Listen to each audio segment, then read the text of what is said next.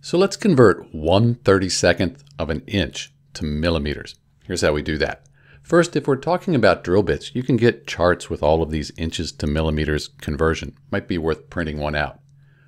But in this case, let's actually just do the conversion because we know one inch is 25.4 millimeters.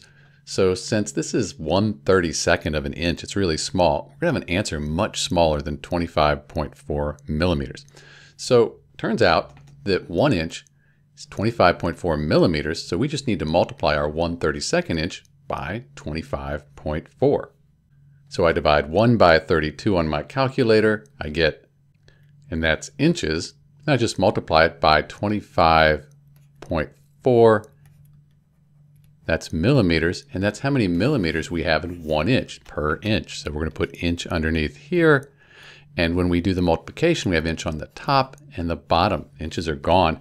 And we end up with this number here, which I'm just going to round to 0.79 millimeters. So in answer to our question, 1 over 32, 1 32nd of an inch is equal to 0.79 millimeters. This is Dr. B. Thanks for watching.